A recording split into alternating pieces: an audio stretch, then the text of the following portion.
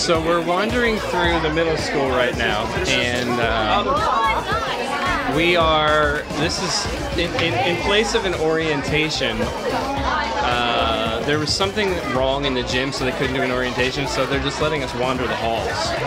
And And where are we going now? What are we trying to find? Chorus. Oh yeah, okay. Who I sent? I think I'm not sure she's ready for all this. I'm not ready for all this.